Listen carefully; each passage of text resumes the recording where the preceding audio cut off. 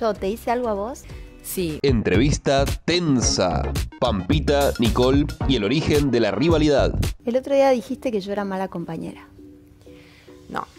Sí, un poco. No.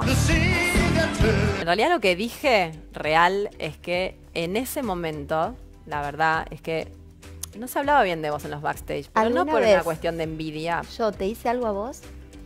Sí, hubo un desfile, un desfile de Giordano. Y yo tenía que estar al lado de él, y del otro lado no me acuerdo quién estaba, y vos estabas al lado mío acá.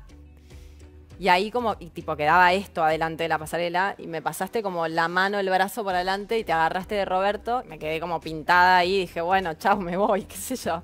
Nunca, creo que jamás me tocó al lado de Roberto.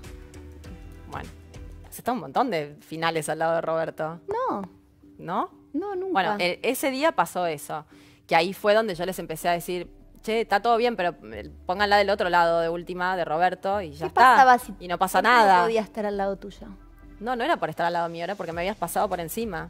Pero, tal No porque yo tuviera- no tuviera algo con que pero al de ahí al resto de la vida que nunca más me pusieran al lado tuyo.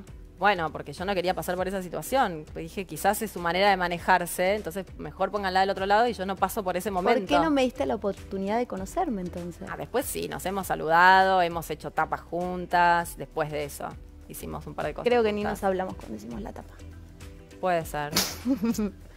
Pero yo Bueno, creo que había... Vos tampoco me hablaste y me diste la oportunidad. Pero había una mala onda de parte tuya conmigo. Mm, no me parece. El otro día hablaban de sacar las caretas y dije, bueno, entonces saquémonoslo todos, está bien, y yo voy a decir lo que pasó. Y voy a decir lo que Tal se vez estás atrás. equivocada. Puede ser también.